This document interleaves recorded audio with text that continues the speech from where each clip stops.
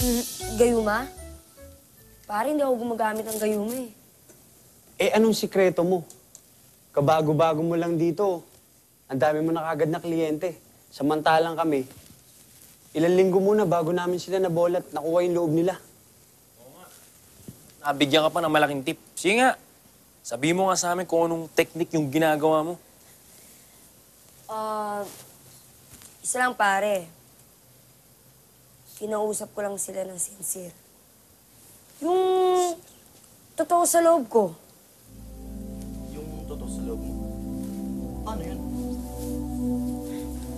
Yan ang hirap sa inyong mga lalaki. Palibasa, mga bulero kayo. Kaya hindi nyo alam kung paano nyo kakausapin yung mga tao sa paligid nyo. Teka, teka muna. Parang hindi ka lalaki kung makapagsalita. Lalaki ka rin, hindi ba? Parang hindi ka namin kauri. Ah, hindi ko sabihin pare. Yung mga katulad yung, yung karamihan mga lalaki, ganun. Kasi, kasi kayo mga mambobola kayo eh. Hindi katulad ko. Iba ako pare. Kung ano yung nasa loob ko, yun ang totoo. Di ba, Insan? Ah, ah, oo nga. Tama nga siya, pare. Ah, ewan. Hindi ko maintindihan yun. Basta ang alam ko, dapat yung mga babae na yan, inuunahan mo ng pambobola yan. Kasi pag hindi mo binola yan, ikaw ang paiikutin ng mga yan. Siya, siya, siya, siya, tama na, tama na. Magbisa tayo at gusto ko nang umuwi. Okay? Ah,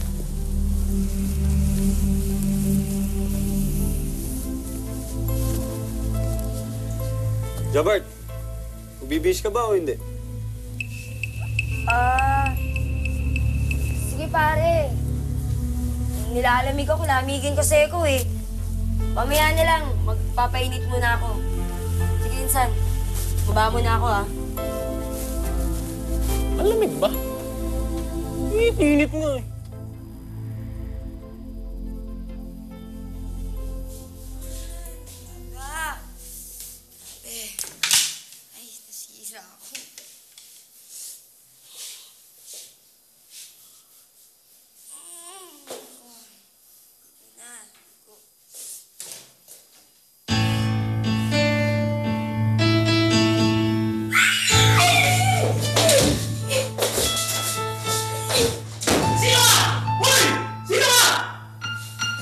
Oh, bakit pare? Sino ang sanap mo? Paano may bisita ka babae? Wala, bakit? Baka naman may bisita kang babae kasi may pumasok dito eh. Sumigaw pa nga eh. Wala nga sabi. Hindi ko lang nakita. Baka naman may bisita ka. Bakit ba dito ka naliligo sa banyo ko? Eh kasi ito si Jolene eh. Inunahan ako maligo doon sa banyo namin. Kaya dito muna ako nakaligo. Eh, pare, baka minumulto ka lang. Pambihira naman pare, ang aga-aga mumultuhin ako. Malay mo, wala naman babae nakatira dito eh. Multo? Pare, takot ako sa multo. Pambihira naman kayo, huwag kayo manakot. Bis na ako ah. Ba kayo? Kalalaki mong tao, takot ka sa multo. Sige na nga, tapusin mo na yun, pare, at susunod na ako sa'yo maligo. Bilisan mo! Takot-takot pa, oh. Ewan ko na dito, doon na lang ako, doon na lang ako maliligo.